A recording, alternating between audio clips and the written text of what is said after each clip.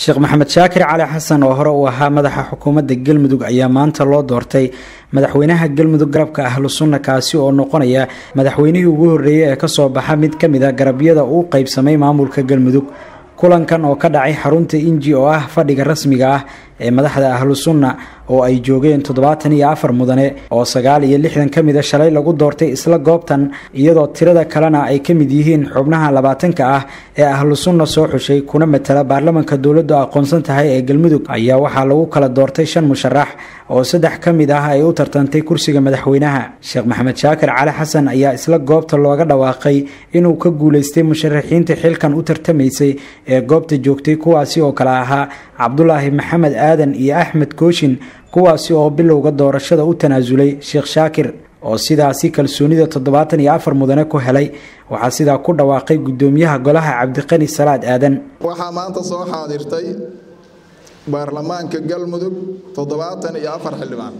Sheekh shaakir waxaa ogolaatay inuu madaxweyne noqdo oo dooratay toddobaatan xibnood oo ka mid ah baarlamaanka galmudug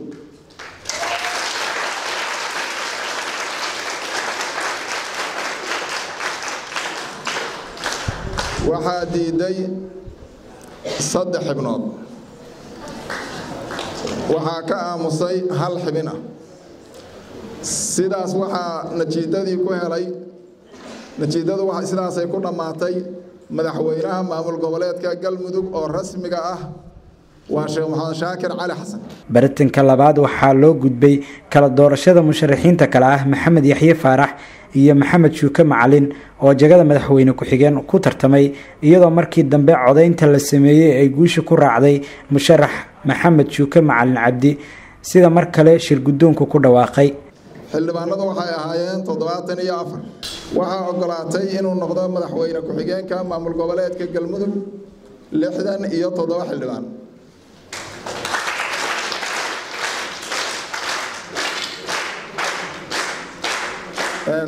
maxamed shuuke waxaa diiday inuu noqdo madaxweyne ku-xigeenka maamul goboleedka galmudug shan xibnood oo xildhibaanada galmudug ka mid a waxaa ka aamusay laba xibnood.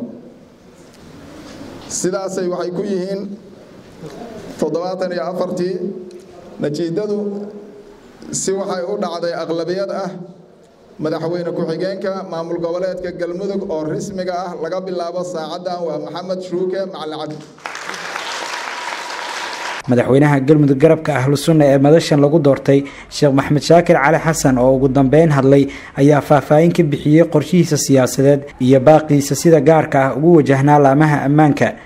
Amniga qiimihiisuu ku tusinayaa manaysiga ilaahay uu ku manaystay ummaddan oo ilaahay qur'aanka kariimka uu ku tilmaamay marka amnigii aan haysanay inaan gacanta ku sii qabanno oon ilaalinno ummaddeenna oo aan u adeegno u khidmayno middaa waa ballan qaadaynaa intii tabarteen ah. Waxaan kaloo ballan qaadaynaa biidni illaahi alkariim. Horumarka galmudug ay hormarto oo ay ka daba biidni illaahi alkariim maamullada kaleeto oo ayada ka horreeya waxaan ku dadaali doonaa biidni illaahi alkariim siyaasadda kala qoqoban ee galmudug ay ku sugan tahana inaan midayno. Oo aan u horseedno isu soo dhowaasho iyo isu tanaasul ilaahay iidankii fadhiga lagu doortay mas'uuliyiintan madaxweyne iyo madaxweyne ku-xigeen ayay codaynteedu u dhacday qaab gacantaag ah waxaana magaalada dhuusamareeb oo doorashadan lagu qabtay ka soconaya qabanqaabada doorasho la filaya in madax kale oo galmuduga hogaamisa lagu doorto. Cabdulaahi warsumar oble somaali news t v dhuusamareeb